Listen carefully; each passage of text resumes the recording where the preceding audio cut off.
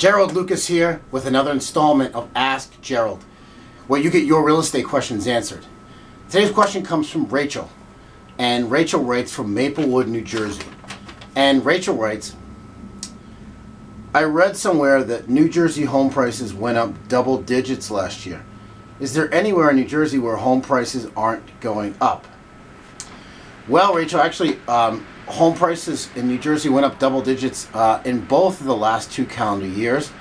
And the home price increase in 2021 was actually higher than the home price increase in 2020. That said, there are some areas where um, uh, home demand is actually going down, like in Sussex County, for example, and in some other more rural areas.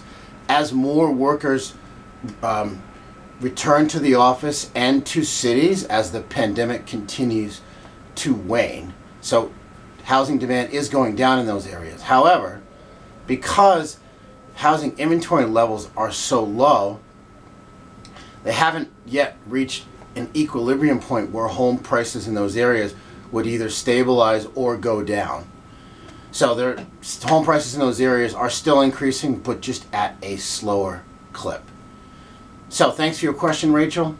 For more real estate information and tips, visit my blog at geraldlucas.com. I'm Gerald Lucas, and I'll see you again soon.